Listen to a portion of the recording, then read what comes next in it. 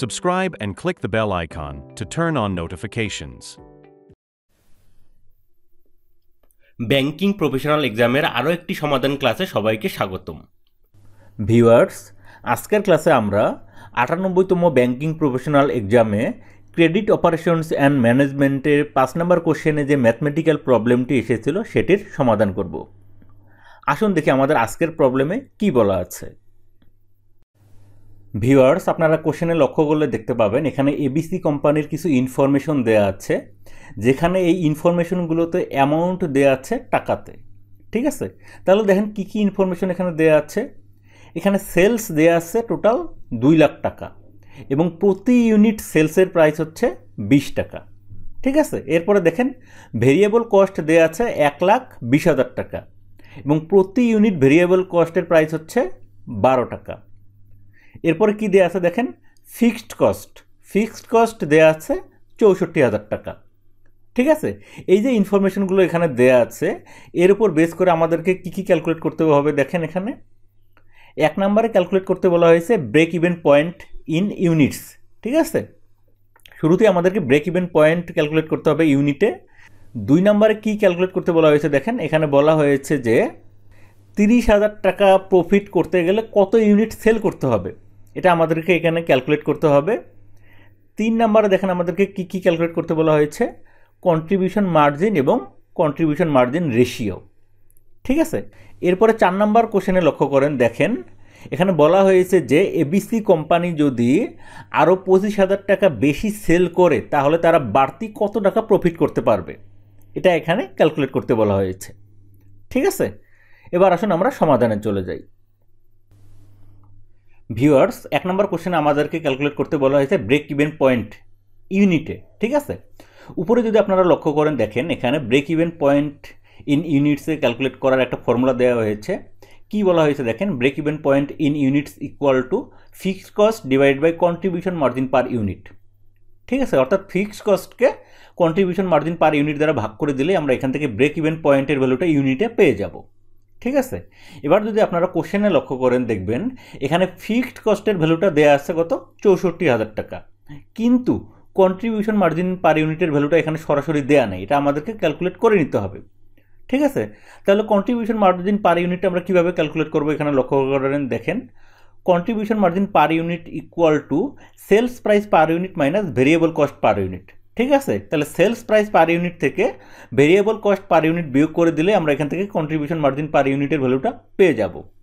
আবার আপনারা কোশ্চেনে লক্ষ্য করেন, দেখেন সেলস প্রাইস পার ইউনিট দেওয়া আছে কত টাকা? বিশ টাকা। এবং ভেরিয়েবল কস্ট পার ইউনিট কত টাকা দেওয়া আছে? বারো টাকা। ঠিক আছে? তাহলে এই দুটো ভ্যালু আমরা এখানে বসিয়ে দিই, দেখেন, বিশ টাকা মাইনাস বারো টাকা। ঠিক আছে? তাহলে বিশ থেকে বারো বিয়োগ করে দিলে আমরা এখান থেকে কত পাচ্ছি? আট টাকা। ঠিক আছে? তাহলে আমরা কন্ট্রিবিউশন মার্জিন পার ইউনিটের ভ্যালু পেলাম কত?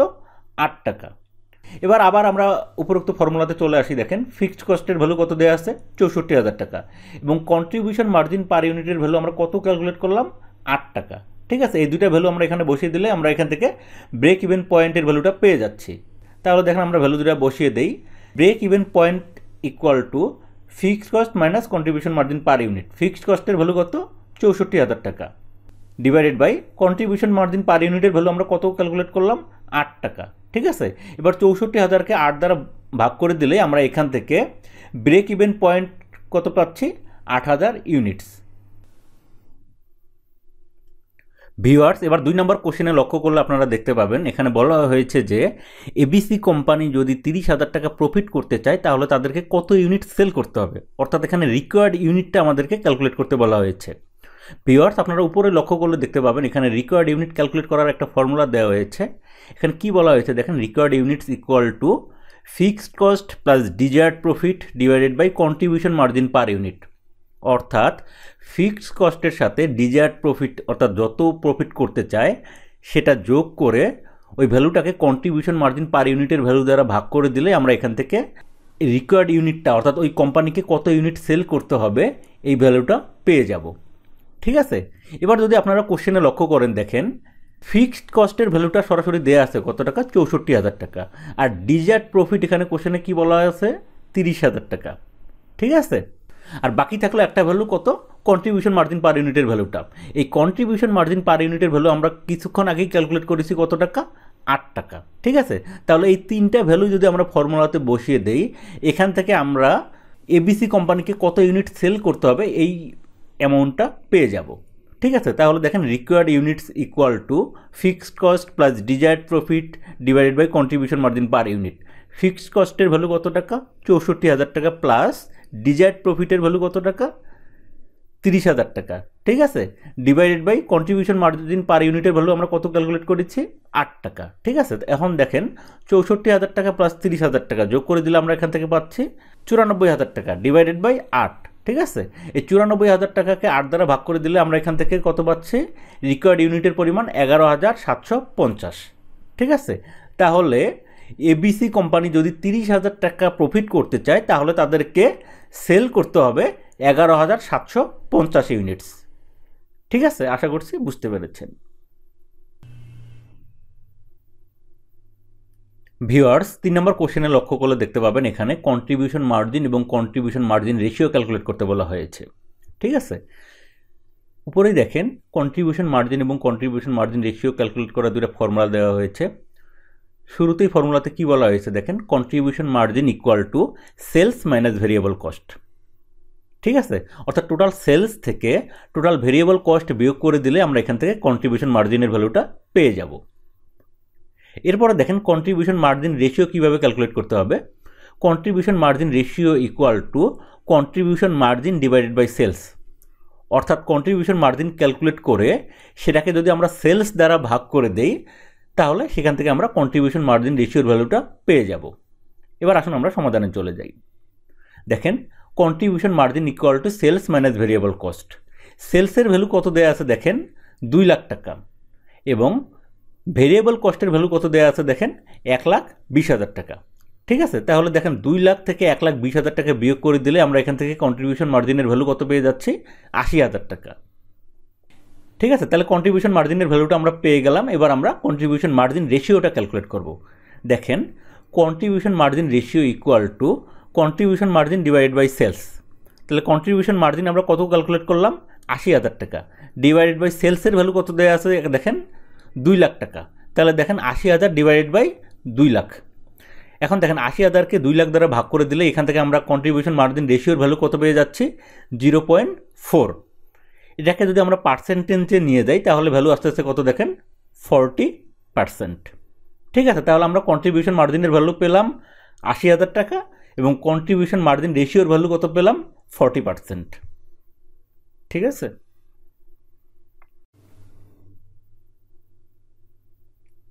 ভিউয়ার্স, এবার আপনারা যদি চার নম্বর কোশ্চেনে লক্ষ্য করেন, দেখেন এখানে বলা হয়েছে যে এবিসি কোম্পানি যদি পঁচিশ হাজার টাকা বেশি সেল করে, তাহলে তার বাড়তি কত টাকা প্রফিট করতে পারবে? অর্থাৎ অ্যাডিশনাল প্রফিটটা এখানে ক্যালকুলেট করতে বলা হয়েছে।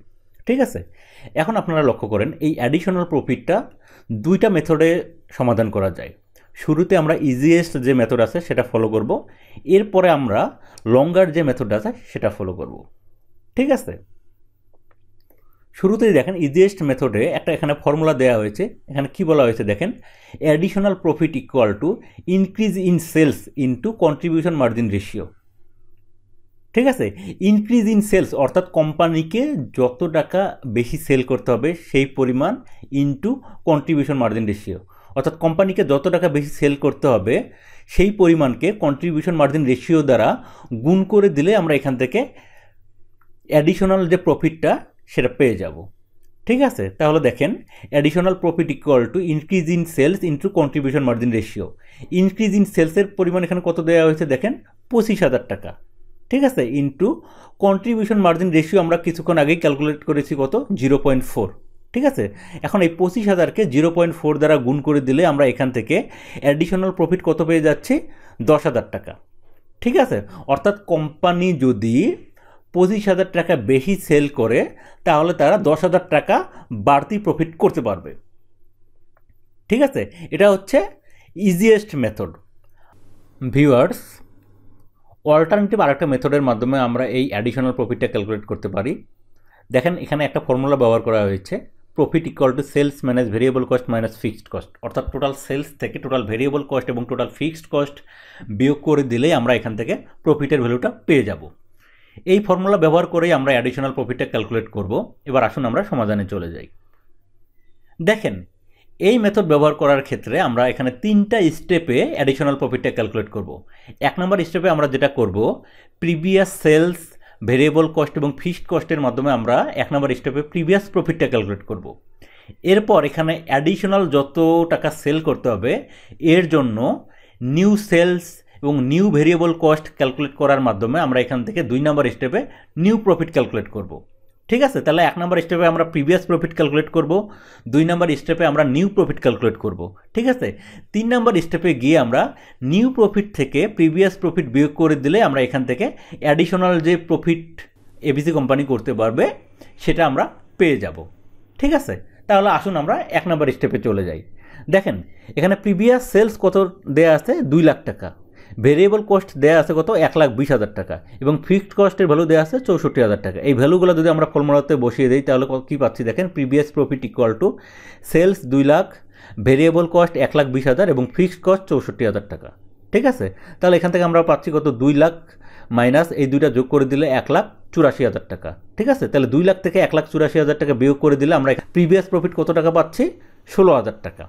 ঠিক আছে? তাহলে এক নম্বর স্টেপের ভ্যালু আমরা পেয়ে গেলাম প্রিভিয়াস প্রফিট ঠিক আছে? এবার আমরা দুই নাম্বার স্টেপে চলে যাব। ভিউয়ার্স এবার আমরা নিউ প্রফিট ক্যালকুলেট করব। নিউ প্রফিট ক্যালকুলেট করার জন্য আমাদেরকে এখানে যেটা করতে হবে নিউ সেলস ক্যালকুলেট করতে হবে। আর নিউ সেলস আমরা কীভাবে ক্যালকুলেট করব দেখেন?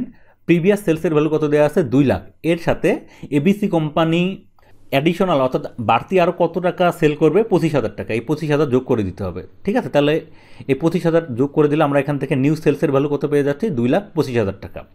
এবার দেখেন নিউ সেলসের ভ্যালু আমরা যেহেতু পেয়ে গেছি, এবার আমাদেরকে ক্যালকুলেট করতে হবে নিউ ভেরিয়েবল কস্ট এখন এই নিউ ভেরিয়েবল কস্ট আমরা কীভাবে পাবো দেখেন টোটাল যত ইউনিট সেল করতে হবে, সেটাকে ভেরিয়েবল কস্ট পার ইউনিট দ্বারা গুণ করে দিলে আমরা কি?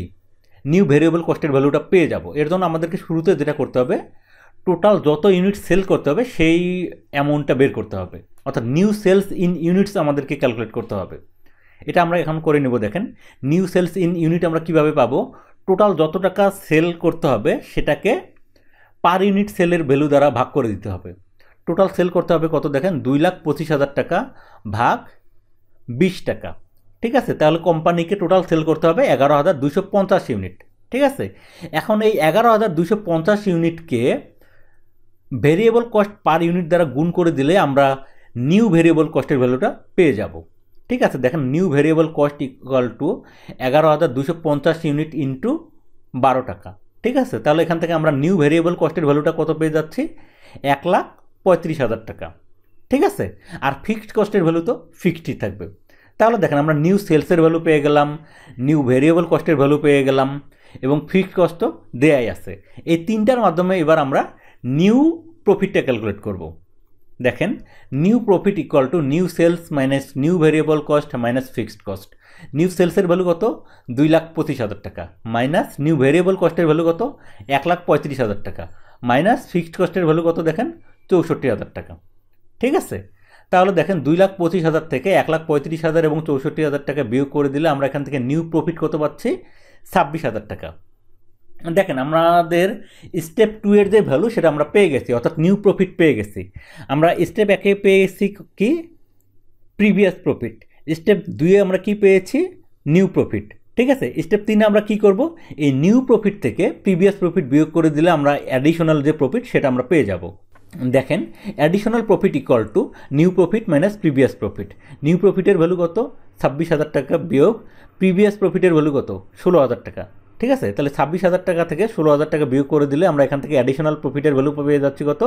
দশ হাজার টাকা। অর্থাৎ এবিসি কোম্পানি যদি পঁচিশ হাজার টাকা বেশি সেল করে, সেখান থেকে তারা দশ হাজার টাকা বাড়তি প্রফিট করতে পারবে। আশা করছি বুঝতে পেরেছেন। ভিওয়ার্স আজকের ক্লাসটি যদি আপনাদের ভালো লেগে থাকে, অবশ্যই লাইক করবেন শেয়ার করবেন এবং যারা সাবস্ক্রাইব করেনি প্লিজ সাবস্ক্রাইব করবেন। ধন্যবাদ।